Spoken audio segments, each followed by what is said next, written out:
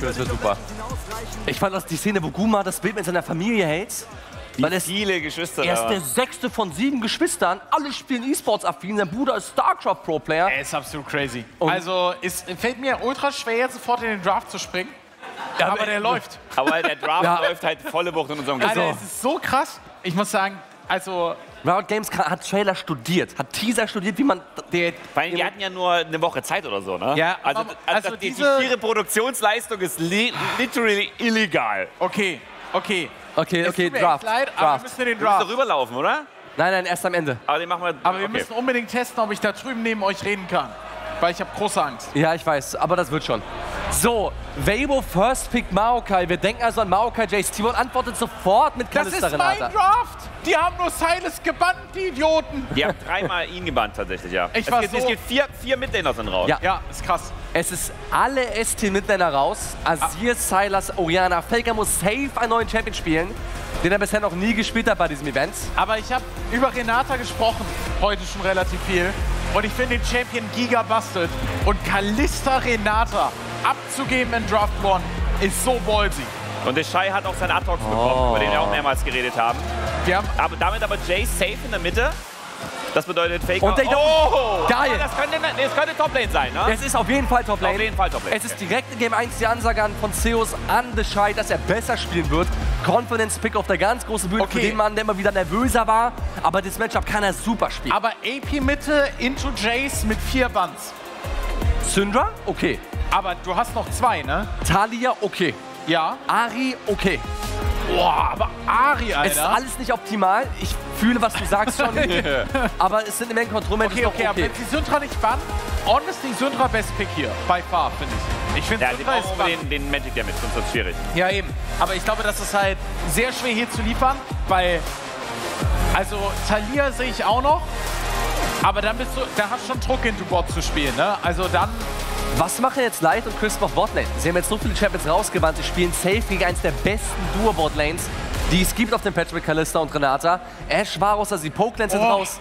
Kalista, äh, sorry, Caitlyn Lux ist eventuell eine Option. äh, äh, raff ich nicht. Äh, Seju Relvan finde ich bad, weil ich finde Poppy nicht so viel schlechter hier. Poppy kann auch gegen Jace einiges machen, gegen Atox sowieso. Also das Rumgedash ist mega gut. Also ich finde, wir haben ja gesehen, wie stark honestly, ich hätte hier zwei Mittelbands mehr gefühlt, aber vielleicht wissen sie auch einfach nicht, was Fakers Option 5, 6 sind. Oh, das ist ein Diebstahl! Das muss man melden, oder? Es wird die Ari. Boah. Aber jetzt heißt, jetzt jetzt ist nur noch die Syndra übrig. Nee, nee, sie, sie brauchen den ja. Sie kriegen Ari, sie wollten Ari haben, sie kriegen sie. Sie haben sie gepickt. Ja. Das heißt, wir Das ist der Aber es ist ja trotzdem EUS 80 Heavy auf der ähm, Ja, das Seite ist so schlimm. Der, macht, der, der Maokai macht das. Der Maokai macht Uh, das. Ja, ja. Senat am Kench. Sie eine gehen den. Weg von T1. Das, was T1 auch ebenfalls einmal gespielt hat, sehr safe, Botlane bleiben, sich gegenseitig retten vor Galista Renata. Das ist nicht der beste Weg, aber es kann funktionieren. Jetzt 10th Pick Owner. Poppy bisher komplett ignoriert in der Draft. Ist hier okay, aber nicht komplett insane. Es gibt... ehrlich- Poppy last, no? Es ist also Poppy wäre der No-Brainer. Aber ehrlich gesagt, ich würde von T1 einen Draft für eine Topside fighten kann. Die Weiß in No-Brainer ebenfalls mit Ari. Belvev auch eine Option und er spielt sie nicht gerne und er pickt sein nicht hin in Game 1. Wir haben drüber geredet. Ja, Playoffs aus Springen lassen grüßen. Da hat Owner sehr viel Leeson gespielt gegen KT. Und jetzt hier erneut. Oh, die Winrate ist aber Katastrophe, ne? Aber Leute, das ist Oh, ein no. Skill-Diff-Draft. Das ist- Pickst das, wenn du glaubst, du bist auf jeder Position besser. Ja. Kalista Renata Botlane safe, ne? Best Botlane im Tournament von mir aus. Aber dann, also Ari Simeone, das dodge ich hier in der Solo-Queue. äh, das ist ja brutal. Ja. Da musst du halt tatsächlich ordentlich LoL spielen können. Na, auf der anderen Seite ist es etwas leichter auszuführen. Sehr Viel leichter. Auch. Ey, hier Lee zu Lars picken ist so offensive. Desto länger ich darüber nachdenke, desto schlimmer finde ich das. Und wenn der damit gewinnt, boah, Dann sollte das zwei Wins geben einfach. äh, nee, aber das, also das bricht den Gegner triple. Das ist quasi Haltungsschaden, normaler Schaden und du wirst gestunt. Und du vergiftet auch noch. In den nächsten zwei Runden. Boah, das ist krass. In, in Maokai Jace Ja, das brauchen wir nicht einblenden. Ja, Das, das ist halt Mobbing. Fanvotes, Fanvotes sind immer biased für T1. Also, äh, das ist natürlich immer das der hat das Gleiche. falsche Logo bei Weibo genommen. Ja, auch nochmal schlimm. Aber ich finde wirklich, die, die Draft von Weibo ist so viel leichter zu spielen. Timon hat eine, so eine Draft gewählt, die, wenn. Wo, soll ich Mitte? Okay. Ja, ja, Äh, komm. Dein Spiel. Also, wenn das funktionieren soll für Timon, Da müssen sie mechanisch komplett outclassen. Lee Sin ist auch nicht gut gegen Maokai, kann nur so viel verschiedene Art und Weise canceln. Das ist eine sehr gefährliche Draft für T1 in Game Nummer 1. Auf Red Side haben sie was Besonderes ausgesucht und wir drei werden es für euch kommentieren. Das erste Mal mit diesem Triple Cast. Dankeschön. Es wird ein Banger im Finale. Cable Flip. Bei Lucia. Bei Game Lu- bei 1 Lucia wird die aufgeflippt Tenor setzt für die ganze Series. Wenn T1 mit sowas durchkommt, dann hat Weibo Gaming keine Option mehr in Draft. Wenn das nicht klappt, dann habe ich Angst. Dann fange ich an zu zittern, weil dann ist ein Game schon mal weg. Oder noch mit Lane Band. Wir haben jetzt ja nur fünf gesehen. Na, also kann auf jeden Fall funktionieren. Wir springen ins Spiel rein, meine Damen und Herren. Das erste Game der World Finals zwischen T1 und Weibo. Äh, Platz 4 der LPL, das liest sich schon absolut grausam. Ist so krass. Ja, vor allem, weil in Swiss Stage besiegen sie den zweiten der LPL. Dann Quarterfinals, erste Runde, den dritten. Dann Semifinals, den ersten. Und jetzt im Finale gegen den vierten ran. Timon hat wirklich jedes LPL-Team hier bereits in einem Best-of begegnen müssen bei dieser Weltmeisterschaft. Jetzt folgt Velvet. Timon mit ihrem berühmt-berüchtigten Late Red Buff Invade. Sie lieben Map-Split, aber ohne Double Hail of Blades sollten sie niemals rein contesten und wirklich fighten wollen. Das sehen wir immer mit Varus und Ash etc. Mit Renata Kalista deutlich unwahrscheinlicher. TP bei Crisp auch eine interessante Wahl, weil gerade Tam Kench ja, ja auch farmt auf Botlane und Senna da deutlich weniger Ressourcen bekommt. Ich glaube, das wird auch das ganz, ganz große Thema werden. Was passiert auf dieser Botlane? Äh, weil da wird sich das Spiel aus meiner Sicht mit am meisten entscheiden. Ne? Also wenn hier Kalista Renata gut ahead kommen, dann wird es ganz, ganz, ganz, ganz äh, schmerzhaft hier äh, für den Rest des Drafts. Und deswegen bin ich auch äh, wenig überrascht, dass die Sin hier nach unten päft. Aber Maokai wird Richtung, äh, Richtung Topside päfen.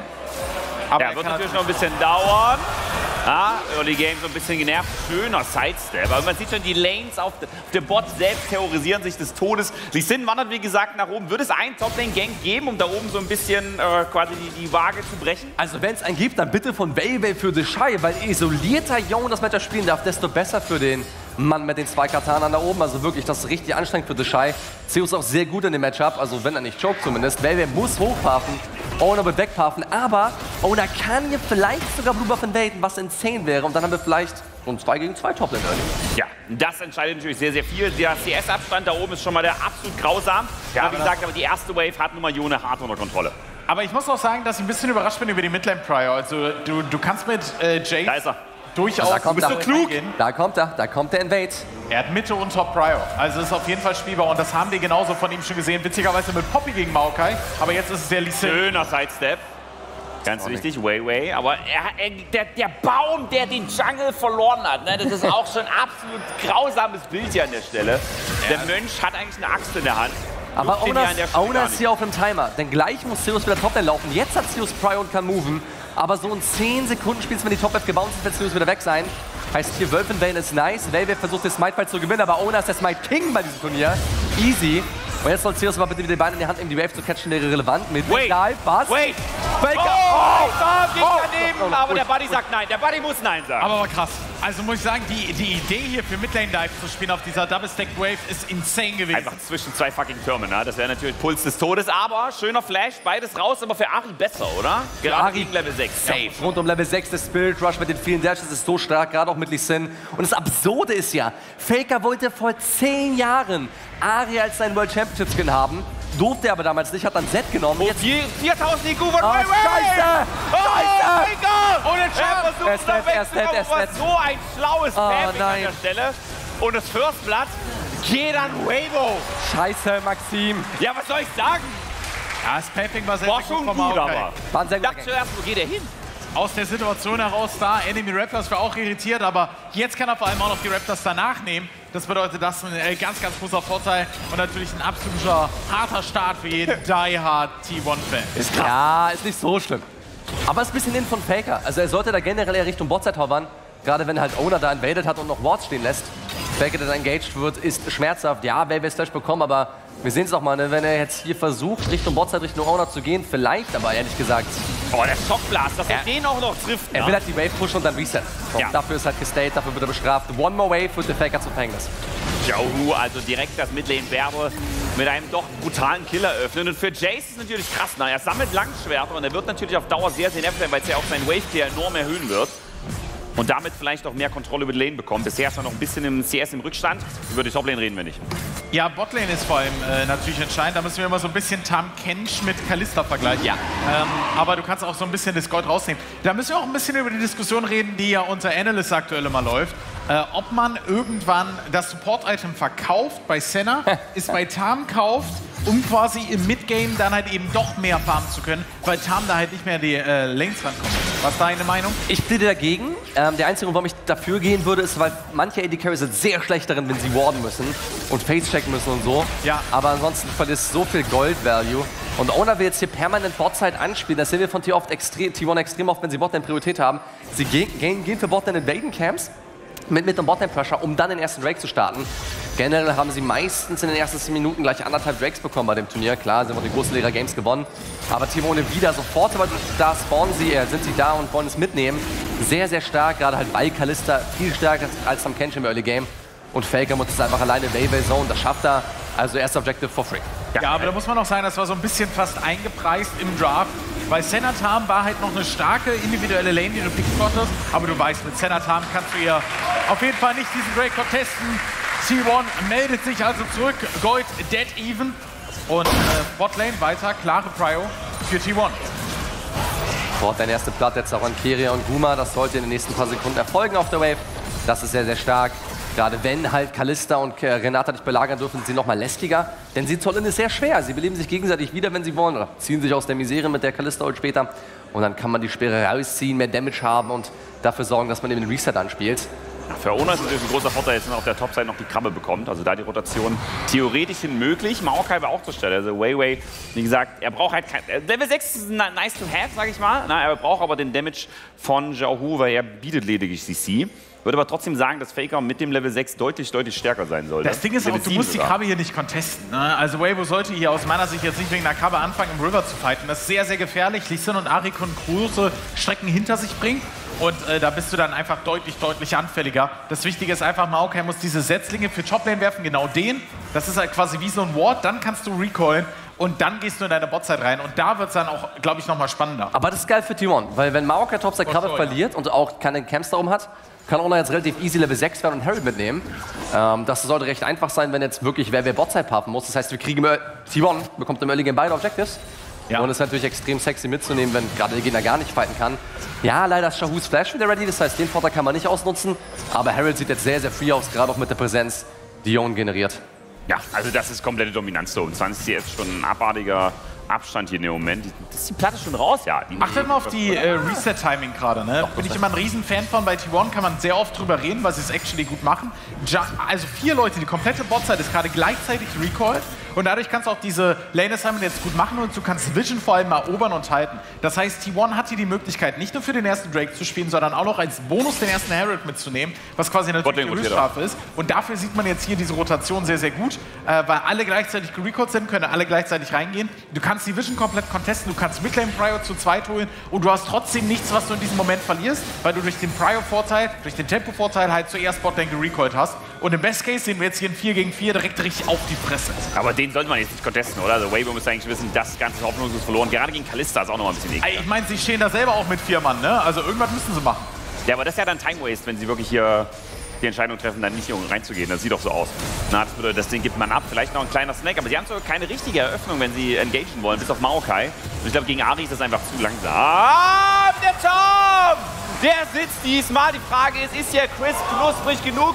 Ist hier nochmal sehr, sehr low und da ist das Wichtige. Sehr geil. Der wichtige Kill nochmal für T1. Die Rache ist da und unnötig von Weibo gewesen, da zu bleiben. Der Babos größter Fehler war davor, wenn sie Krabbe abgeben und Hopster Cap abgeben. Während wir den Fight gesehen haben, hat Baby von Gromp Level 6 farmen müssen. Der Maokai war noch Level 5, der konnte nicht groupen. Der war noch beim Gromp dabei. Auf einmal fightest du dann Unterzahl. Faker findet Engage mit halt Spirit Rush into Charm. Easy. Und jetzt top dann aufgepasst. Zeus muss rennen. Der hat noch sein Ult ready, aber muss sie zünden. Und ECC, JD Ultimate wurde gecancelt. Aber er hat Flash. Die Frage ist, kommt Er er kann noch den Schild zur Verfügung, er ist zu langsam. Wird ja einfach nur niedergeprügelt werden. Das Well played von ist Weibo, well Ganz played. Ist in Ordnung, trotzdem. Im Endeffekt ist das jetzt hier äh, trotzdem 20 CS-Lead. Äh, und man hatte jetzt gerade auch keinen Herald, das heißt, der kann nicht gesetzt werden. Aber um nochmal darauf anzusprechen, die Level Disadvantage war ja nicht nur im Jungle, sondern diese Renata-Ultimate. Wir haben wieder gesehen, wie stark sie war. Senna hatte noch keine Ultimate zur Verfügung. Kein Counterplay, nichts, was man dagegen setzen konnten. Jetzt erst tatsächlich das Level 6 erreicht. Und das sind genau die Momente. Du hast es gesagt, warum gehen sie da? Es ist Time Waste. Sie hätten einfach into Botlane wieder reingehen wollen. Dann tradest du vielleicht für zwei Triple Platings oder ähnliches. Aber T1 hier einfach geistesgegenwärtiger und auch einfach mit diesem schönen Reset-Timing. Gefällt mir alles sehr, sehr gut, was wir bis hierhin sehen. Ja, der Reset ist crazy, vor allem weil du mit Level, Level 5 Renata resettest, die wird vom Herald Level 6. Weil du weißt, Maokai kann nicht Level 6 werden, weil du ihm vorher Camps geklaut hast. Ja. Also hat Timon die bessere AOE holt, also das Berserk statt der Nature's Grasp. Und trotzdem muss man sagen, Weibo, durch diese beiden Kills auf Solo Lanes, gerade auch weil das Gold so gut verteilt ist für sowohl Aatrox als auch für den Jace, sind hier eigentlich ganz happy gegen Timon. In Gold, Dead Even, ja, Object ist abgegeben, aber ihre Länder können sich jetzt behaupten gerade für Top Lane ist es wichtig, um ein Polster aufzubauen, bevor Jon dich überrennen kann. Ja, aber das wird jetzt quasi komplett shiften. Wir haben ja noch Lee Sin mit dem Herald. Das bedeutet, er wird das Ding Ja. entweder unten oder in der Mitte platzieren und dadurch kriegen sie eigentlich theoretisch sofort den Drake. 20 Sekunden ist dafür noch Zeit. Na, hier oben ist kompletter Terror. Na, das ist absolut äh, sinnlos, da quasi hinzuschauen. Und nun ist die Frage halt, wo Ona als nächstes hinrotieren wird. Oder ob Faker, glaube ich, die Mitte sowieso schon ziemlich gut kontrolliert. Ja, du hast absolut recht. Also der, der Klassiker-Play ist hier Harold Mitte into Drake. Wie Maxim gesagt hat, einfach stark und easy. Gerade auch wenn du halt noch Platten generieren darfst in so einem Range gegen Range-Matchups. Äh, den Turm zu belagern ist wichtig und gerade so ein Hextech Drake ist nochmal ordentlich Gold drauf. an. Nee, doch nicht. Aber ich dachte schon, die rotieren da komplett hin. Also das Ding ist, Fabo wird jedes Mal das Areal kontrollieren dürfen, wegen der Saplings. Und dann willst du halt über Midlane spielen durch Harold, damit du nicht durch die Saplings gehst. Und jetzt wird T1 dafür vielleicht sogar zu 5 groupen. Mal gucken, ob sich Zeus bewegen wird. Ja, ich glaube, das Spannende hier ist auch, dass äh, Lee Sin einer der wenigen Champions ist, die gehandicapt sind, wenn sie Herald haben. Weil du kannst den Boardjob nicht machen. Ja, true. Ist, oh mein Gott. Da Äh, kommt ist er. ja wirklich schwierig. Das heißt, jetzt haben wir Harold Midlane. Das ist jetzt genau der Play. Äh, Mitte into Drake. Das wäre jetzt der, der, der Wunsch hier von T1. Und es sollte auch absolut machbar sein. Ja, Ja. da gibt es nochmal ordentlich Gold für Faker hier an der Stelle. Ganz wichtig. Power Spike Oh, drei mit zwei Items da. Aber vom Timing her, wie gesagt, man macht das quasi erstmal alleine. Kalista noch gar nicht zur Stelle. Jetzt kann sie dazu rotieren. Na, aber Guma Yuzi ja, platziert noch hier entsprechend seine eigenen Wards. Und Faker will jetzt sogar basen und vielleicht reintippen. Er hat Everfrost durch diese Platten. Nee, er hat den Recall gecancelt. T1 kriegt den Drake so oder so. Das ist extrem geil. Zwei Drakes, ein Herald, Plattenmitte. Toplane fällt das CS-Vorteil und ja, Weibo Gaming hat sich über Kills gerade noch im Game halbwegs behauptet. Gerade auch jetzt der Mounting Embrace bei Velve ist ein toller Power Spike.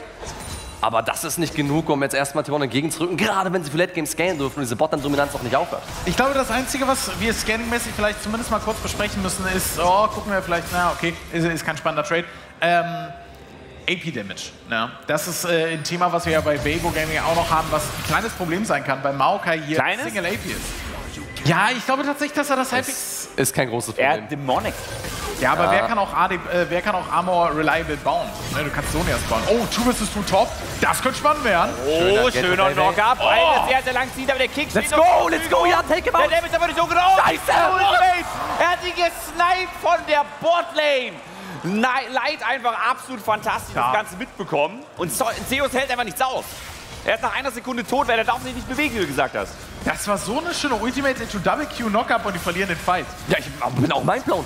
Bei Gordon ist es im Fight so OP, aber der Dawning Shadow von Botlane sniped da oben rein, die Berserker und Mist hier leider von Keria. Und jetzt auf einmal geht hier Babo für die Skillchecks. Aber Faker, er ist dazu mobil. Also muss jetzt quasi noch einen Schockblast treffen und ich glaube, das würde nicht mal reichen. Na, da die Tankiness und die Mobilität so ein bisschen zu hoch. Also man prügelt sich tatsächlich auf allen Lanes, aber bezogen auf die Kills, Weibo macht es auf jeden Fall nicht schlecht. Die suchen sich die Top-Lane-Fights sehr gut aus. Allerdings wird Jona natürlich trotzdem sonst wo ins Gehen. Für Kalista allerdings sehr ungeil, einen 1 und 1 Atrox gegen sich zu haben. Ist trotzdem, also überrascht mich, dass das 2 vs 2 Top Lane fightbar ist. Ähm, mit dem Setup. Weil das bedeutet ja auch, dass das nicht besser wird in naher Zukunft. Äh, Krakenslayer gegen ähm, ja, Gordrinker. Äh, das wird natürlich für Jona irgendwann dann noch besser. Aber nichtsdestotrotz äh, ein Schockmoment, glaube ich, auch für T1 selber, die trotzdem 300 Gold vorne sind. Ähm, also alles soweit gechillt. Müssen trotzdem überlegen, okay, über welche Lane kommen wir jetzt am ehesten zum Erfolg. Und da löst sich jetzt Carrier von der Lane, um eben selber Einfluss aufs Spiel zu nehmen. Das 3 gegen 1, Leute. Atrox, das muss jetzt aber eindeutig geholt werden. Slow ist schon mal drauf. Zeus schon ein bisschen HP verloren, juckt aber gar nicht. Das ist ein Safes Ignite. Die Frage ist, ob Owner den Kill snackt. Ah! Und er ist nochmal hingegangen. Also jetzt braucht eigentlich Jone langsam Kills. Wichtig vor allem die XP zu bekommen. Da war der Scheiß so weit vorne. Und der Scheiß war sowas bekannt, wenn er Gold hat und stärker ist als Jubiläer Pressure, der wird davon dreimal bestraft. Gute Rotation von T1, Lol. die sie auch wenig kosten sollte. Wenn sie mittig und deshalb kriegen, was sie tun. Sie fighten sogar gegen Weiwei. Oh, der ist aber reingegangen. Das W einfach rausgebeten. Aber oh, no, no, wichtiger Schild. Aber er kriegt keinen Kill mehr. Das ist so Oh, Sidestep. hat da oben überlebt, weshalb Renata nicht brockt. Bitter an der Stelle für T1. Ja, und die sind immer noch auf der Jagd nach einem Nach Baum. dem Baum. aber Aber der, Baum bringt sich jetzt selber um. Weil er geht direkt ins Sägewerk. Look Oh at that. mein Gott. Na, einfach sofort bei Hornbach. Das war's. Es kriegt nicht Keine mal einer XP. Kein Kill, kein Gold. Wir sind nicht sponsored, by the way. Nein, Boah, noch nicht. Bald. doing, doing, doing, doing. Nee, ist auch was anderes. Ne? Weiß ich nicht. Ja, egal.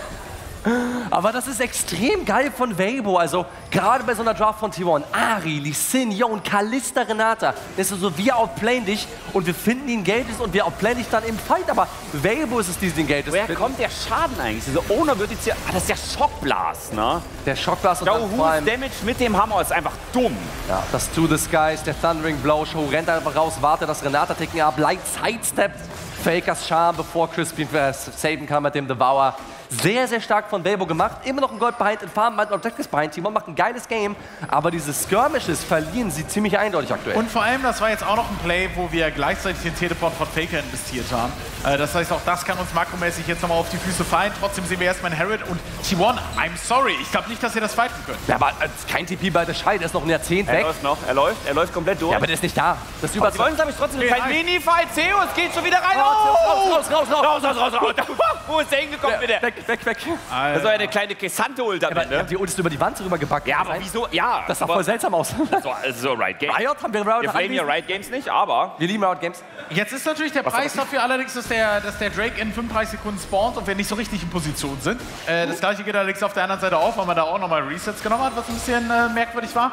Aber ich glaube, hier wird es ganz, ganz entscheidend, wenn T1 als erstes am Objective ist, wie wir es gerade gesehen haben, dann ist alles cool. Aber wenn die Maokai Zeppelings vor dir da sind, ne? also Samen tun hier richtig weh. es ist ein großer Timo am Ende. Ja. Was nicht geil ist. Alle hassen Timo. Ja. Achso, die so, Saplings sind die. die ach so, ja. Hat gedauert, ich weiß. Ja, war lang. Auch früh, ich, mein keine Ahnung, Kopf wie ist langsam. Aber ja. was schnell funktionieren sollte von Owner ist jetzt Harold Mitte setzen. Ne? Bist du Level 11 vom Luba? Wenn ja, dann ist Worth. Jetzt Harold Mitte und dann versuchen, hier wieder Priorität zu generieren, damit wir für den Drachen spielen können. Jahu riecht einfach, wo Faker ist. Ne? Das ist schon sehr, sehr unangenehm. Oh, dann geht die Drachen zur Stelle. Es wäre jetzt der dritte insgesamt. Es wird also hier eine cloudige Map werden. Und Faker bereit, von der Seite ranzusneaken. Alle Ultimates stehen theoretisch zur Verfügung. Auch natürlich Everfrost für die unendliche CC. Und der Fight um die Wards hat begonnen. Faker überlegt die ganze Zeit. Über diese Wand kann man rübergehen mit der Ultimate. Das ist möglich. Und er lauert. Oh, Das ist. Blitz. Das ist ein kleiner Poke hier an der Stelle. Jetzt ist Das ist die Frage, ob jetzt. hier Xiaohu noch einen Schockblast trifft. Ich glaube, T1 ist sehr gut ja, mit so dem bisschen- Oh, da ist er nämlich. Okay, aber hat noch geschildert. Das ist eine sehr, sehr schöne Reaktion tatsächlich. Trotzdem HP verloren. Und du hast die Saplings erwähnt. Zwei ekelhafte sind da im Busch. Na, und rennen jetzt natürlich direkt in das Gesicht von T1. Ja, T1 spielt gerade richtig geil, weil sie einfach warten. Sie kriegen ja der Botlane Priorität und wenn jemals Weibo Gaming Drake startet, spawnen sie Harold mit und nehmen vielleicht sogar zwei Turrets mit diesem Charge. Heißt gerade Weibo Gaming bisschen in... Carrier? Oh, der Oh, fängt daneben. das? Renata Ult. Oh, no. Na, er rennt davon. Jetzt nochmal die Roots durchgebracht. Kyria. Aber Kyria wird ja Das- nochmal wegkommen. ja, Ult. Wichtig. Ja, ja. Kalista saugt ihn wie so ein Pokémon wieder zurück. Na, einfach sehr, sehr gut gemacht. Fake auf der anderen Seite. Aber jetzt sind übelst wichtige Ultimates raus. Und ich glaube, Wavo juckt das im, im Prinzip jetzt nicht. Die HP vom Maokai gefällt mir allerdings nicht. Ich glaube tatsächlich, dass sie ihre Position aufgeben müssen. T1 hat auch noch die Ultimate von Faker am Ende benutzen können, um rauszugehen. Carrier mit dem dicken Mistplay an dieser Stelle hat leider äh, den Handshake nicht getroffen. Deswegen Oh, mein Let's Gott! go, Owner! Oh! No! Was tut er? Aber Nein! Xiao Hu kommt mit einem HP weg. Tragisch hier der Stelle. Harold jetzt einfach nur aus Aber Zeus. Zeus, Zeus, Zeus. Mit der wunderschönen und leid. Es tut mir leid. Da wurde einfach komplett da abgerissen. Jetzt muss Weiwei sich zurückziehen, freigeholt. Und dieser Baum, der wird nochmal gefällt werden. Da rennt jetzt hier erneut davon, aber der blinde Mönch, er sieht ihn, er riecht den Duft der Rinde. Zack, da ist das Cure. Oh, ne, du So Scheiß- gut gemacht. Du bist so geil, Owner! Wie macht er das? Es ist ein Statement-Game. Und der Turm ist auch noch zerstört worden, weil der Herald ja instant da war. Das war der Warjump zum Herald quasi. Sollte man nicht machen, by the way. Aber Owner mit diesem Midlane Engage, der Mann war so bad in Regular Season ohne Faker. Und bei World Jetzt. ist er so am Performen, so ein MVP in so vielen Games. Bab, Für diese insane Combo Shahut. Den Sick. Ich mit hätte. Fünf kommen. Faker mit seinem Charme, aber doesn't matter, du chase runter. Jetzt kommt Zeus von der Seite und will die Ult durchbringen, trifft damit auch zwei Geht Mann. einfach ins 3 gegen 1 rein. Ne? Look at ihn einfach Oh mein nicht. Gott. Delish. zieht beide zusammen und Light stirbt halt so fucking fast. Ohne Tam Kench ist einfach Senna völlig useless. Ja, ist sehr, sehr krass. Also muss man wirklich sagen, Ona hat mit diesem Engage auf der Mitte all das hier ermöglicht. Und diesen Weg da zu finden, ist so krass. Dass er hier absteppt, ist so wichtig auf den Rest der Series. Dass er von Anfang an wieder zeigt, er hat aktuell alle chinesischen Jungler locker in der Tasche. Und jetzt ist Sidelane so zu Ende. Ich sehe dann Hullbreaker bei Yon fertig. Arthos geht jetzt Richtung Strikes oder vielleicht sogar Hullbreaker, um es zu beantworten.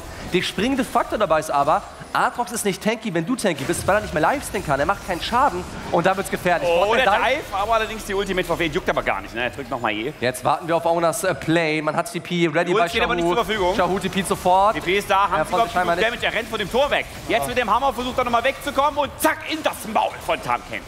Na, nochmal an der Stelle gerettet. Aber Shahut ist auch geonnert. Der Er ist klasse. schlechter. Also da wegzulaufen war actually genius. Hat gut funktioniert, aber du hast ja auch einen Jone gegen dich, der einfach statt zwei Katanas eine Armbrust und einen Hammer in der Hand hat. Na, ist schon keiner disgusting und funktioniert natürlich hier alleine übertrieben gut. Aber ist auch sehr, sehr krass hier, ne? Diese äh, Support-Teleport-Variante war hier im Endeffekt die, die hilft. Weil wenn Atrox dazu tipiert, ist es eine ganz andere Situation. Da kannst du vielleicht Kills trainen oder so. Aber einfach mal gefressen werden hilft auf jeden Fall. Midlane müssen wir wieder aufpassen. Guck mal, Yuzi. Äh, einen Schritt weit vorne, kann das jetzt allerdings outplayen. Dafür muss er allerdings Oh, wichtiges. Cleanse. Einfach instant die Zunge geglänzt. Jetzt aber die Frage, wird er nochmal zu Ende geroutet werden? Genau. Guma, Yuzi! Er ist noch da, die Ulti wird noch gedodged und wie der Stone kitet. Holy shit, kommt da noch mal davon. Die Frage ist, reicht aus Crips ist immer noch nach oben geflohen, während Zeus sich einfach komplett da durchschlitzt durch den Laden. Und hier wird Weibo Das einfach Ace. komplett destroyed. Schon wieder flieht jemand Richtung Turret. Die pure Angst ist da. Der Koch komplett verloren an der Stelle, wird hier tot getreten. Und das ist das Ey, Ace. T1. Und sofort der Baron hinterher. Wie hat Gumo überlebt? All die Spades, all das Engage-Potenzial, die Renata-Ult von Kiria, hatte die vier Mann zum Gegner umgewandelt. Er, hat die Live er fand die Ult von Senna gesidesteppt quasi. Das sah übel weird aus. Es war aber sehr, sehr krass. Also ich muss Und sie sagen, warten noch auf Faker, geil. der Renate-Impact ist nicht wieder auf so Faker. Doch, doch, insane. doch. Achso, der Timer war Der scheiße. Timer, der Timer. Ja, sehr gut. Entschuldigung. Ja, und wir sehen es hier nochmal, ne? Also im Endeffekt dachte ich, hier kommt es darauf an, dass am Ende die Zunge gezeitsteppt wird, aber sie wird halt eben sehr, sehr schnell geglänzt, deswegen ist es auch nicht so schlimm. Und jetzt die Maokai, achtet mal darauf, das ist ein Zentimeter da und dann diese Renate Ultimate, die alles turn. Es nimmt genau diesen Damage raus, genau das sorgt dafür, dass der Mann da nochmal rauskiten kann, das schreibt Flash hinterher. Aber guck mal, Yuzi einfach auch geistesgegenwärtig. Und der Turn dann, der ist natürlich clean. Das Ganze wird dann fast ein Full Ace. Nur der Opa beißt ins Grab. Und der Rest ist äh, sehr munter. Was ein Teamfight von T1, der im Ace und im Nash mündet. Mit jedem sollten sie jetzt definitiv beide Sideline-Turrets aufgebrochen bekommen. Sie haben Halbreaker, sie haben starke Sidelanes. Gerade im Nash verstärkt, lässt man sich noch schwieriger aufhalten.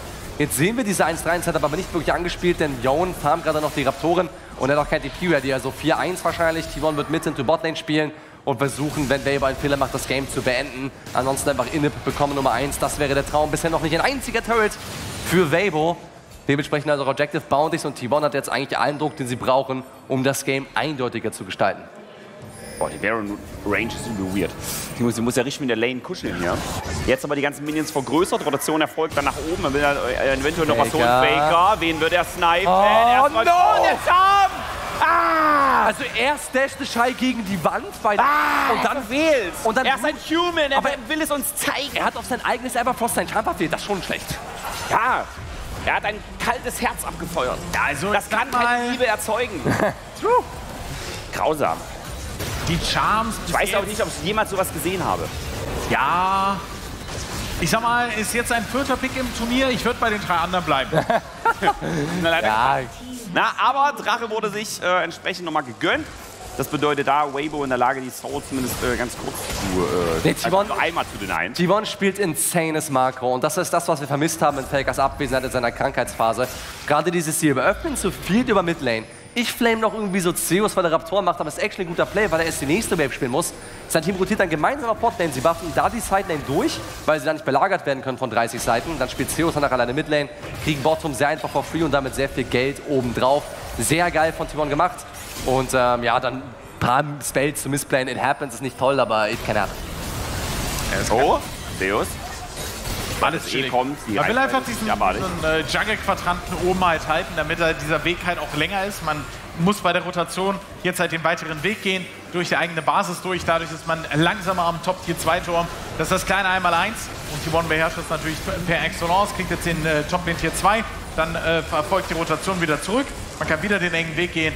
Und dann werden wir sehen, dass äh, Jone versucht, Botside-Jungle mitzunehmen.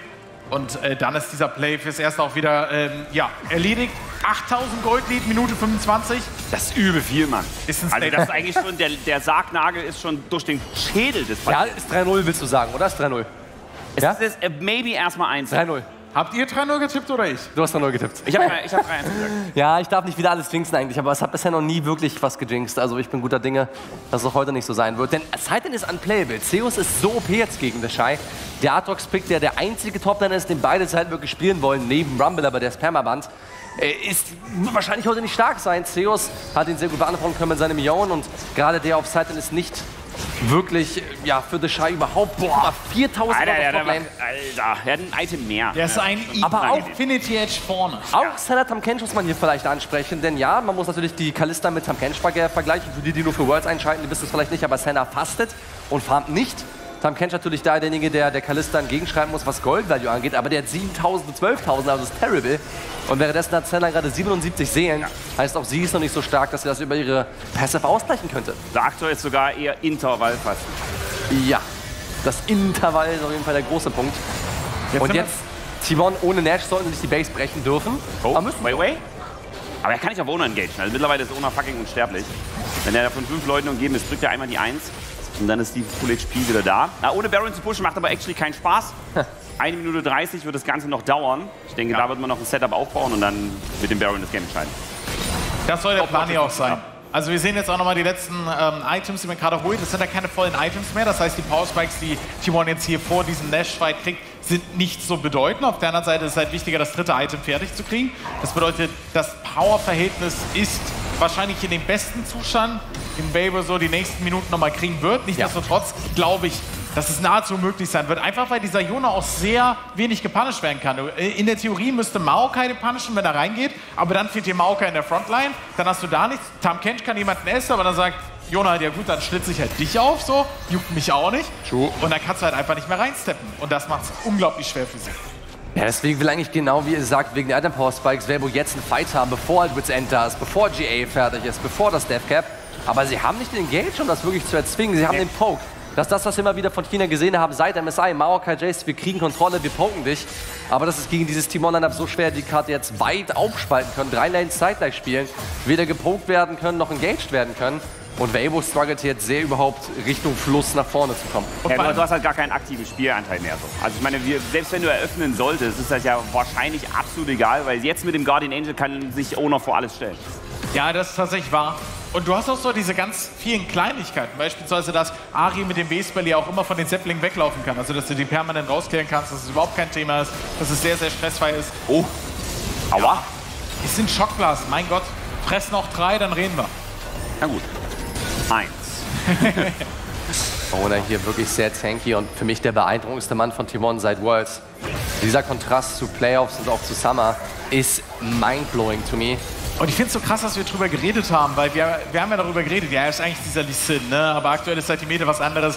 Und was ist das für ein Statement-Game in Game 1 zu sagen, ich pick hier Lee Sin und Oder? gehe für den Engage? Oh, oh, der Flash-Gegner will den Jungler rausnehmen. Er hat noch GA, ist scheißegal, ob er jetzt stirbt. Nur das Positioning ist wichtig.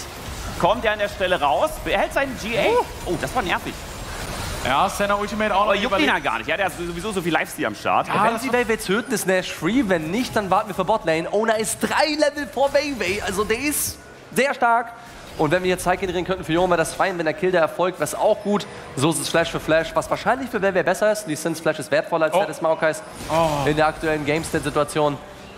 Aber T1 kann jetzt in aller Ruhe sogar den Drake solo und das ist Seele, wenn Zeus ihn niederschnetzeln darf. Und parallel dazu spielen sie auch noch Nash an. Also Weibo hier ohne Option. Ja. Jone einfach ein guter Champion hier an der Stelle. Macht das Ding alleine, bleibt er noch entspannt, hat er den Halbbreaker-Bonus. Baron wird begonnen und jetzt der letzte Fight. Also Weibo muss jetzt hier einfach mit dem Gesicht voll rein oder sie geben hier anscheinend sofort auf, also diesen Baron zu contesten. Quasi und vielleicht ein Shockblast-Stil, aber das wäre absolut abartig. Na, Senna Ult kann das, glaube ich, gar nicht. Zack, das Ding ist down. Nice. T1 wird jetzt hier einmal durchbrechen. Es ist Soul, es Faker, ist Smash. Faker, es ist jetzt die Faker. Frage, der Freeze nicht ganz raus, der Zama, der ist wieder daneben. Shockblast wieder in das Gesicht hinein. Shahu hatte mit sehr gutem Movement, wirklich. Also der Mann ist ready für alle möglichen Skillshots. Ja.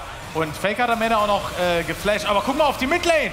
Ja, da hat- Shai gerade einfach mal seinen Black Cleaver procken müssen. Und dann kommt... Oh, so! Der Schei einfach komplett abgeholt worden. Owner jetzt immer noch die Hälfte der P, juckt ihn Zeus, überhaupt nicht. Zeus, Kickt einfach Zeus. den nächsten aus dem Leben. Faker beinahe da.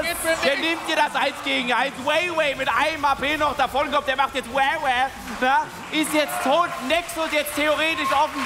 Das bedeutet T1 schafft es hier den ersten Win in diesem World Final Zone. Und das nach 30 Minuten absoluten Powerplay. Die ersten Worlds für Faker in Korea. Game 1 des Finals ist Owner der MVP. So geile Plays gefunden und gesmurft. Zeus auch sehr geeindruckt. Auf Seiten Johnny dis- disagreed. Für wer ist für dich MVP des ersten Games? Was? Wer ist für dich MVP des ersten Ja, Games? Owner. Owner. Es gibt, es gibt keine andere Wahl. Ich muss sagen, Seos, im Endeffekt ist es aber für T1 Best Case. Bei Jungle und Toplane haben wir jetzt genau das Selbstvertrauen, was aus meiner Sicht der einzige Grund gewesen wäre, an ihnen zu zweifeln. Dass sie sagen, ey, wir haben ein bisschen Schiss, wir sind uns nicht ganz sicher, ob wir es packen, aber die Art und Weise vor allem, wie sie hier gewonnen haben, ist absolut überragend. Der Lycian von Anfang bis Ende dominant gewesen und dann ist Jona halt irgendwann online. Aber das ist auch, für Shy muss es ein Genickbruch sein. Ne? Dein Ja. Standard-Blind-Pick im ersten Game wirst du komplett zerrupft. Das ist schon rough.